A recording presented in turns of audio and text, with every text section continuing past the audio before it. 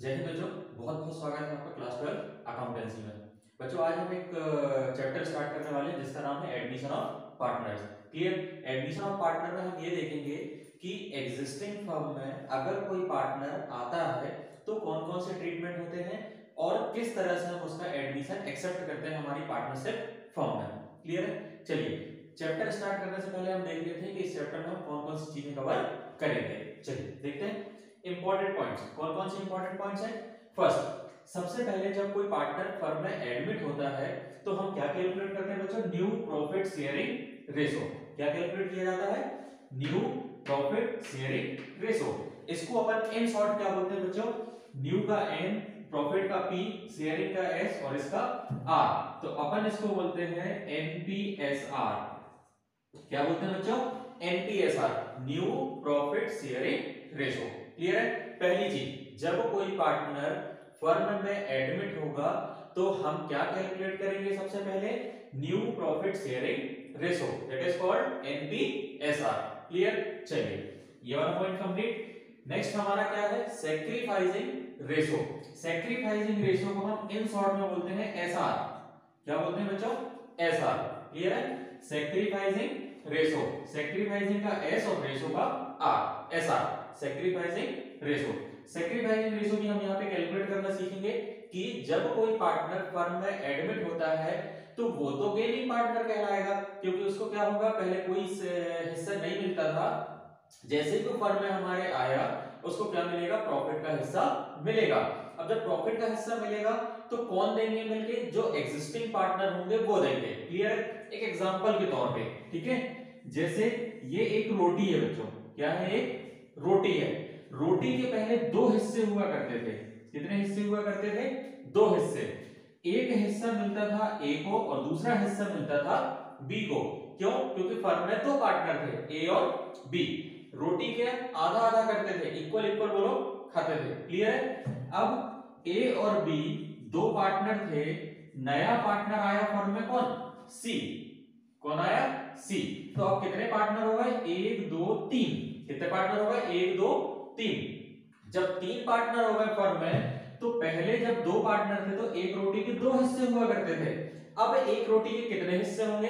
तीन हिस्से होंगे। क्लियर है? ये हमारी एक रोटी है। इस रोटी के हमको तीन हिस्से करने हैं, और वो भी कैसे? बराबर बराबर करने हैं। ठीक है? चलिए, देखते हैं।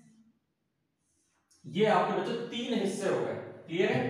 ए को मिलेगा ये बी को मिलेगा ये, और सी को मिलेगा ये क्लियर है? मतलब पुराने जो पार्टनर्स होते हैं एग्जिस्टिंग जो पार्टनर्स होते हैं, वो अपना कुछ हिस्सा छोड़ते हैं किसके लिए? इनकमिंग पार्टनर के लिए, नए पार्टनर के लिए क्लियर है? तो जितना हिस्सा वो अपना छोड़ते हैं, वो कहलाता है उनका सेक्रीफाइस रेशो क्या कहलाता है बच्चों? सेक्रीफाइस कितना हिस्सा छोड़ा ए ने? यहाँ देखो, ये जो हिस्सा बना हुआ है इसका, ये सी का। कैसे बना हुआ है? ये यहाँ से डिवाइड कर देते हैं अगर अपन तो ये वाला हिस्सा कौन छोड़ रहा है? ए छोड़ रहा है। और यहाँ से अगर अपन डिवाइड कर देते हैं तो ये वाला हिस्सा कौन छोड़ रहा है? बी छोड़ रहा है। क्लियर है? ये सी के लिए सेक्रीफाइस किया गया है ए के द्वारा। ये किया गया है सी के लिए ए के द्वारा। और ये वाला हिस्सा बी के द्वारा सेक्रीफाइस किया गया किसके लिए? सी के लिए। मतलब ये जो पूरा हिस्सा है, ये वाला। कौन सा वाला पार्ट ये वाला पार्ट ये वाला पार्ट आपका उठ कहाँ आ गया? जब नई रोटी में अपन ने तीन हिस्से किए तब। मतलब ए ने अपना हिस्सा छोड़ा थोड़ा सा टुकड़ा और बी ने भी अपना एक छोटा सा टुकड़ा किसके लिए छोड़ दिया? सी के लिए छोड़ दिया। तो ये टोटल बड़ा बड़ा पार्ट आपका ये बन गया। क्लियर है? ये ये पूरा हिस्सा किसके लिए बन गया बच्चों? सी के लिए बन गया। इसके लिए। क्लियर हो गया? चलिए, आगे। नेक्स्ट इसी में हम देखेंगे इंपॉर्टेंट पॉइंट्स में valuation and adjustment of goodwill किसका वैल्यूएशन बच्चों? गुडविल का वैल्यूएशन हमने पिछली क्लास में गुडविल का वैल्यूएशन पूरा कर लिया था कि तीन मेथड होती हैं आपकी। एक होती है एवरेज प्रॉफिट मेथड दूसरी होती है सुपर प्रॉफिट मेथड और तीसरी होती है capitalisation method clear capitalisation method में हम या तो एवरेज प्रॉफिट को बेस लेके चल सकते हैं या फिर सुपर प्रॉफिट को बेस लेके चल सकते हैं। क्लियर है? तो वो मैं, वो चीज़ अपन कहा देख चुके थे? पहले के टॉपिक में कवर कर लिया है। कौन सा टॉपिक था वो हमारा? वैल्यूएशन ऑफ़ गुडविल उसकी थ्योरी की क्लास भी है आपकी और उसकी प्रैक्टिकल की क्लास भी आपकी प्रीवियस वीडियोस में है। क्लियर है? अगर कोई डाउट हो तो आप प्रीवियस वीडियो वहाँ पे देख सकते हैं। ठीक? तो अगर यहाँ पे कोई क्वेश्चन ऐसा आता है तो हम उसकी क्या निकालेंगे? उसकी वैल्यू निकालेंगे पहले गुडविल की और उसके बाद उस गुडविल को हम क्या करेंगे बच्चों? एडजस्ट करना सीखेंगे कि उसकी जर्नल एंट्री क्या होती है। है ना? कौन सा पार्टनर डेबिट होगा? कौन सा पार्टनर क्रेडिट होगा? वो चीज़ कहलाता है एडजस्टमेंट्स ऑफ़ गुडविल मतलब गुडविल को एडजस्ट करना हम कहाँ सीखेंगे? एडमिशन ऑफ़ अ पार्टनर में सीखेंगे। क्लियर चलिए, आगे देखते हैं। इसी इसी चैप्टर में हम कवर करेंगे रीवैल्यूएशन अकाउंट रीवैल्यूएशन अकाउंट क्या होता है बच्चों? जितनी भी एसेट्स हमारी फर्म में होती हैं, उन एसेट्स को फिर से क्या किया जाता है? उनका पुनर्मूल्यांकन किया जाता है। है ना? पुनर्मूल्यांकन कैसे किया जाता है? पहले चेक किया जाएगा कि भैया, हमारी पहले एक एसेट्स थी, उसकी वैल्यू थी कितनी? दस हज़ार रुपए। जैसे ही एक पार्टनर फर्म में आया, उस एसेट्स की वैल्यू कितनी हो गई? बारह हज़ार रुपए, है ना? अगर हमने जब परचेस किया था तो वो दस हज़ार की थी। कितने की थी? दस हज़ार की। लेकिन आज की डेट में मार्केट में उसकी वैल्यू कितनी है? बारह हज़ार। अगर हम उस मशीन को बेचने के लिए लेके जाएँगे, उस एसेट्स को बेचने के लिए लेके जाएँगे तो आज मार्केट में कितने की बिकेगी? बारह हज़ार रुपए की बिकेगी। क्लियर मतलब यहाँ वैल्यू क्या होगी बच्चों? चेंज हो गई। जब वैल्यू चेंज होती है तो उसी चीज़ को बोला जाता है आपका पुनर्मूल्यांकन। क्लियर है? और पता कैसे चलता है वैल्यू चेंज का? पुनर्मूल्यांकन करते हैं तब। अब यहाँ देखो 2000 से हमारी एसेट्स क्या हो गई बच्चों? इंक्रीज हो गई। क्या हो गई हमारी एसेट्स इंक्रीज हो गई। जब इंक्री इंक्रीमेंट हुआ है इंक्रीज हुई है तो उसको कहीं ना कहीं तो रिकॉर्ड करना पड़ेगा। तो जिस अकाउंट में हम उस इंक्रीज या डिक्रीज को रिकॉर्ड करते हैं, वो अकाउंट हमारा कहलाता है बच्चों रीवैल्यूएशन अकाउंट कौन सा अकाउंट कहलाएगा? रीवैल्यूएशन अकाउंट वहीं पे एसेट्स को भी रीवैल्यू किया जाएगा और लायबिलिटीज को भी रीअसेसमेंट किया जाएगा। लायबिलिटी का क्या होता है बच्चों? रीअसेसमेंट है ना? कोई लायबिलिटी इंक्रीज होगी, कोई लायबिलिटी क्या होगी? डिक्रीज होगी। तो वही चीज़ हमारी क्या कहलाती है? Revaluation of assets and reassessment of liability clear है? चाहे लाइबिलिटी हो, चाहे एसेट्स हो अगर इंक्रीज और डिक्रीज होगी तो उसका जो वैल्यूएशन होगा, जो रिकॉर्डिंग होगी, वो कहाँ होगी बच्चों? रीवैल्यूएशन अकाउंट में होगी। कहाँ होगी? रीवैल्यूएशन अकाउंट में। क्लियर हुआ? चलिए, आगे देखते हैं। नेक्स्ट टॉपिक इसी में आएगा distribution of accumulated profits and reserves है ना? एक्यूमुलेटेड प्रॉफिट्स एंड रिजर्व्स ये बोल रहा है, ठीक है? एक्यूमुलेटेड प्रॉफिट मतलब कि ऐसा कोई प्रॉफिट हुआ है, अगर फर्म को पहले कुछ सालों में तो उस प्रॉफिट को हम क्या करेंगे बच्चों? डिस्ट्रीब्यूट कर देंगे। किसको डिस्ट्रीब्यूट करेंगे? जो एग्जिस्टिंग पार्टनर फर्म में होते हैं लाइक ए और बी ए और बी पहले से फर्म में काम कर रहे थे सी नया पार्टनर आया।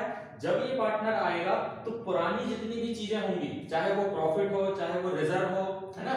चाहे एसेट्स की रीवैल्यूएशन वगैरह हो तो जो भी चीज़ें उस बेनिफिट में आएँगी ओल्ड पार्टनर के, वो सारी चीज़ें सी के आने के पहले हम क्या करेंगे?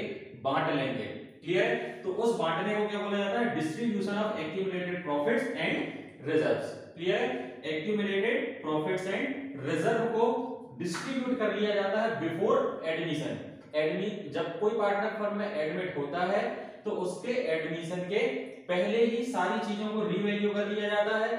वैल्यू करने के बाद फाइंड आउट भी कर लिया जाता है कि कोई पुराना प्रॉफिट तो नहीं पड़ा जिसको हमने अभी तक बांटा नहीं है, या फिर कोई रिज़र्व तो नहीं पड़ा है हमारी फर्म में जिसको हमने अभी तक डिस्ट्रीब्यूट नहीं किया है। तो वो सारी चीज़ों को हम क्या करेंगे बच्चों, यहाँ पे पहले डिस्ट्रीब्यूट कर लेंगे, फिर हम सी का क्या करेंगे? एडमिशन करेंगे। क्लियर एंड लास्ट यहीं पे आएगा adjustments of partners capital partners capital account अपन ने बनाना कहाँ सीख लिया था? फ़र्स्ट चैप्टर में फंडामेंटल में, है ना? अब वहाँ पे तो अपन ने सीखा था कि पार्टनर्स कैपिटल अकाउंट कैसे बनाया जाता है। अब यहाँ हम सीखेंगे कि पार्टनर्स कैपिटल को कैसे एडजस्ट किया जाता है। कैसे एडजस्ट किया जाता है। क्लियर तो वो टॉपिक कहलाता है हमारा adjustments of partners capital clear हो बच्चों? चलिए, आज हम दो टॉपिक कवर करेंगे। इसी चैप्टर के इंपॉर्टेंट पॉइंट्स में से पहला है हमारा न्यू प्रॉफिट शेयरिंग रेशो कि नया प्रॉफिट शेयरिंग रेशो होता क्या है? और दूसरी चीज़ सेक्रीफाइसिंग रेशो और सेक्रीफाइसिंग रेशो होता क्या है? थ्योरी क्लास में अपन ने ये दोनों चीज़ों को देख लिया था कि न्यू प्रॉफिट शेयरिंग रेशो क्या होता है? जब कोई पार्टनर फर्म में आता है या फर्म से जाता है या फर्म का क्या होता है? रिकॉन्स्टिट्यूशन पुनर्गठन होता है। तो एग्रीमेंट क्या हो जाता है? चेंज और जब एग्रीमेंट चेंज होता है तो वहाँ पे नया रेशो ज़रूर आएगा। क्लियर है? नया रेशो मतलब कि फ्यूचर में जो भी प्रॉफिट होगा, अब उस नए रेशो में बटेगा। तो वो कहलाता है न्यू प्रॉफिट शेयरिंग रेशो। और सेक्रीफाइस रेशो मैंने आपको बता दिया कि इनकमिंग पार्टनर के लिए जो एग्जिस्टिंग पार्टनर होते हैं, अपना हिस्सा थोड़ा थोड़ा क्या करते हैं, छोड़ देते हैं। है ना? सेक्रीफाइस कर देते हैं, त्याग कर देते हैं। तो उसी त्याग को अपन क्या बोलते हैं? सेक्रीफाइसिंग रेशो बोलते हैं। क्लियर देखते हैं दोनों को कैसे हम कैलकुलेट करते हैं। आज हम ये दोनों टॉपिक ही कवर करेंगे। नेक्स्ट क्लास में फिर हम ये आगे के टॉपिक देखेंगे। क्लियर बच्चों? चलिए स्टार्ट करते हैं।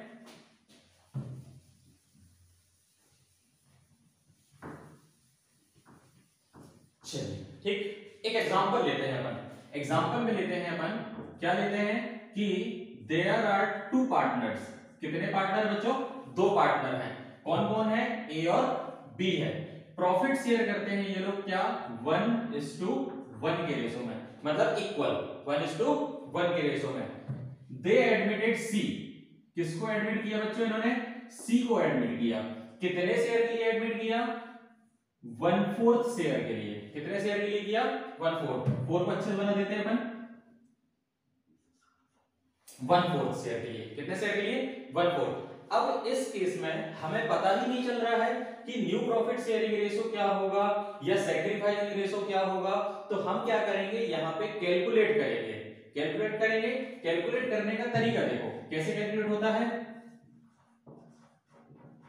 सॉल्यूशन ठीक? ए और बी दो पार्टनर हैं। प्रॉफिट रेशियो ओल्ड रेशियो क्या है इनका? इक्वल है। वन टू वन है। सी एडमिट हुआ है। कितने शेयर के लिए? वन फोर्थ शेयर के लिए। कितने शेयर के लिए? वन फोर्थ तो टोटल हिस्से का वन फोर्थ हम किसको दे देंगे? सी को दे देंगे। कैसे? यहाँ अपन एज्यूम करते हैं let total share of profit be one कितना है बच्चों? एक है। टोटल क्या है? एक। एक में से हम सी को कितना देंगे? वन फोर्थ क्लियर है? चलिए, देखते हैं। C will get C will get one fourth share from total clear total में से कितना मिलेगा ये? वन फोर्थ कैसे लेगा? So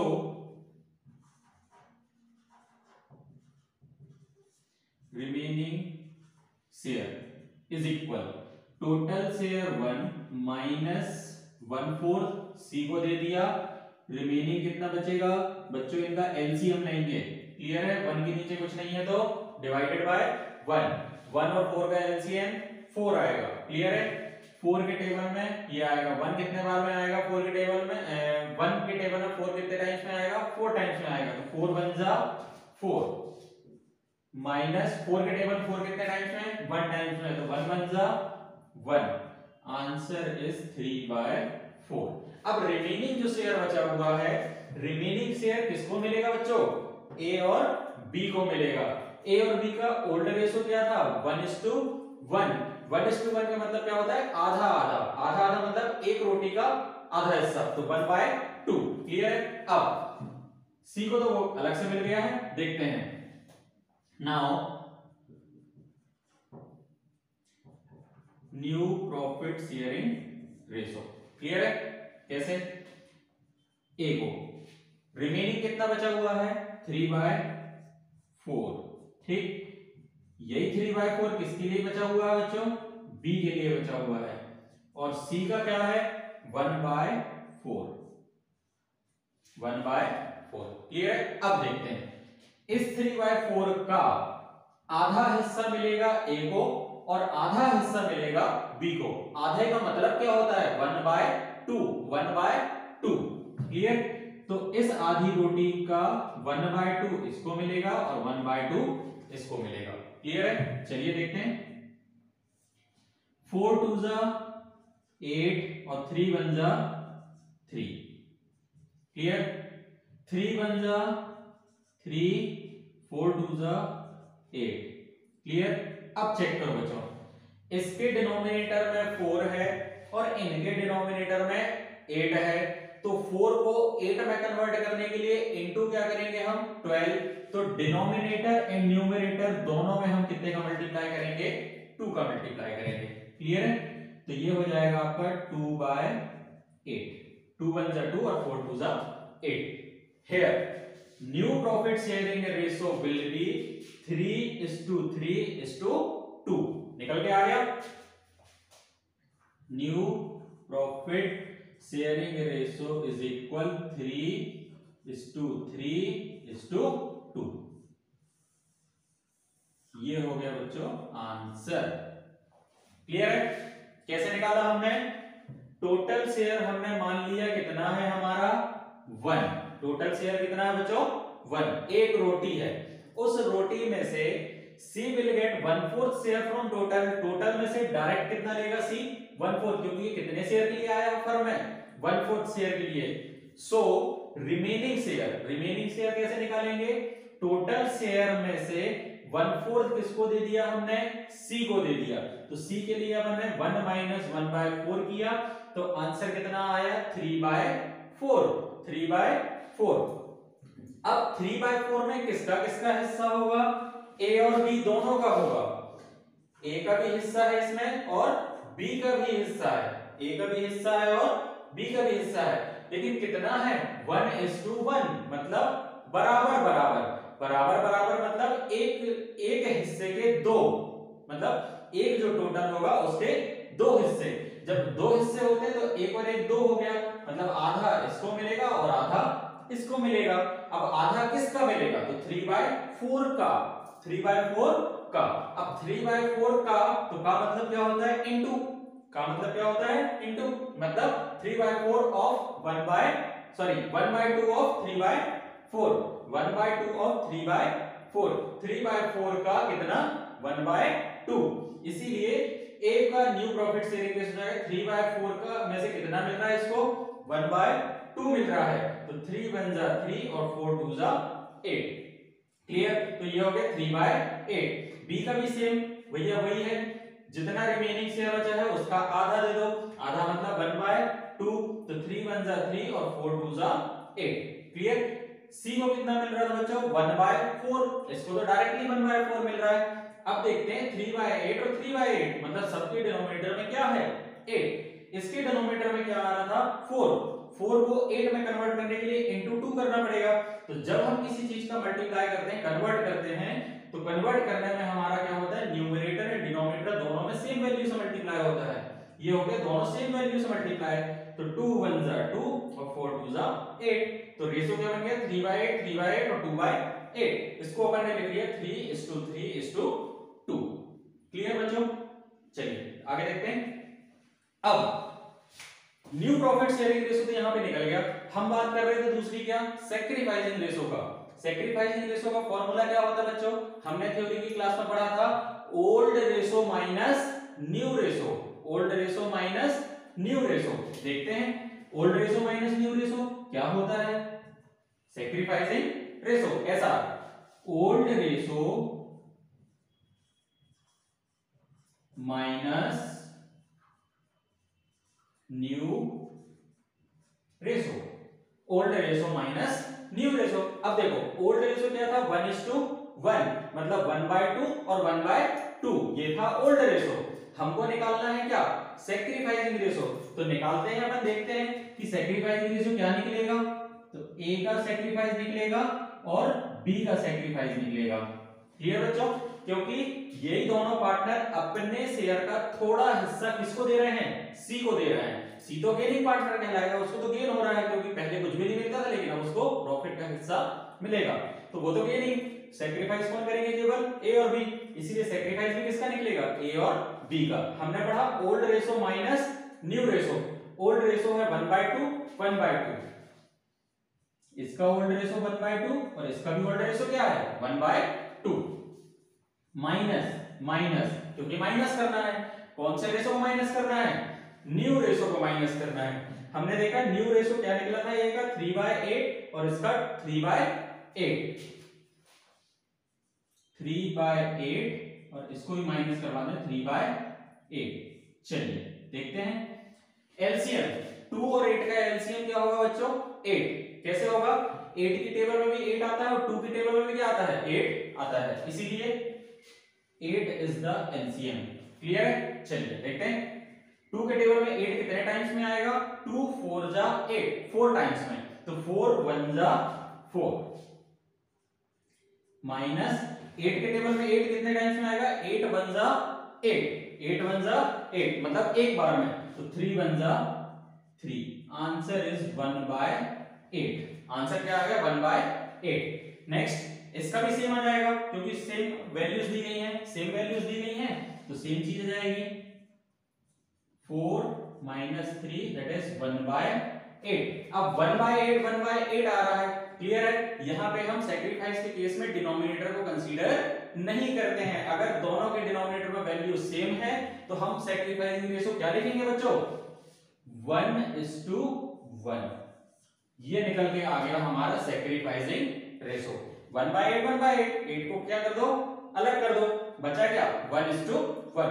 तो सेक्रीफाइसिंग रेशो का फॉर्मूला क्या हो गया? ओल्ड माइनस न्यू तो आंसर आ गया वन बाय वन। मतलब one is two one. Clear बच्चों? यहाँ पे आपका टॉपिक कंप्लीट हो जाता है। न्यू प्रॉफिट शेयरिंग रेशो का और सेक्रीफाइसिंग रेशो का। क्लियर है? न्यू प्रॉफिट शेयरिंग रेशो आपने देख लिया, कैसे कैलकुलेट होता है? पहली कंडीशन कंप्लीट दूसरी कंडीशन सेक्रीफाइसिंग रेशो की। तो old ratio minus new ratio old ratio question में गिवन होता है। न्यू रेशो हमने यहाँ कैलकुलेट कर लिया था। तो ओल्ड रेशो में से न्यू रेशो जब हमने माइनस किया तो आंसर आया one by eight one by eight denominator को यहाँ कंसीडर नहीं किया जाता है सेक्रीफाइसिंग रेशो के केस में। तो रेशो क्या बन गया हमारा? वन इज़ टू वन बसरते आपके डिनोमिनेटर में सेम वैल्यू होनी चाहिए तब। क्लियर है? अगर सेम वैल्यू नहीं है तो पहले हम उसको सेम वैल्यू में कन्वर्ट करेंगे। और कन्वर्ट करने के बाद डिनोमिनेटर को हम हटा देंगे। और जो आंसर आएगा, उसी को हम कंटिन्यू लिख देंगे। तो यहाँ पे आंसर क्या आ रहा है? वन बाय एट और वन बाय एट एट को एलिमिनेट किया तो one is two one sacrificing ratio हमारा आ गया one is two one clear बच्चों? नेक्स्ट क्लास में हम आगे के टॉपिक्स इसके कंप्लीट करेंगे। तब तक के लिए थैंक यू